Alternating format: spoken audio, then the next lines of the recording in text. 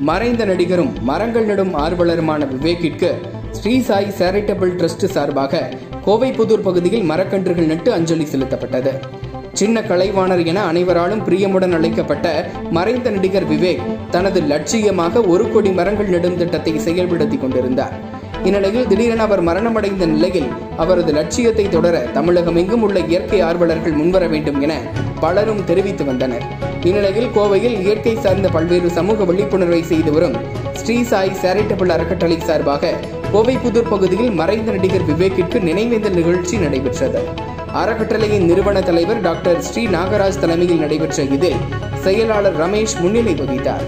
தொடர்ந்து சிறப்பு அழைப்பாளராக ஆசிரமம் பள்ளியின் நிர்வாக அலுவலர் உதயேந்திரன் கலந்து கொண்டு மறைந்த நடிகர் விவேக்கின் நினைவாக மரக்கன்றுகள் நடும் பணியை துவக்கி வைத்தார்.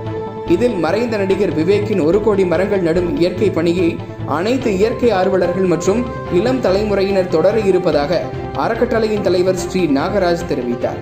நினைவேந்தல் நிகழ்ச்சியில் அறக்கட்டளையின் நிர்வாகிகள் மகேஷ்குமார் ராஜதுரை உலகநாதன் உட்பட கோவை புதூர் வாழ் பொதுமக்கள் குழந்தைகள் சிறுவர்கள் என பலர் கலந்து கொண்டனர்.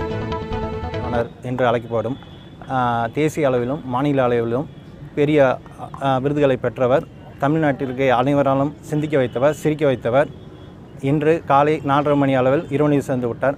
அவர் ஆத்மா சாந்தி அடைய கோவை கோவை புதூரில் உள்ள ஏ கரௌண்டில் ஆஹ், மெழுகுவர்த்தி வைத்து அன்னாரி ஆண்மையை சாந்தி அடைய அஞ்சலி செலுத்தியுள்ளோம்.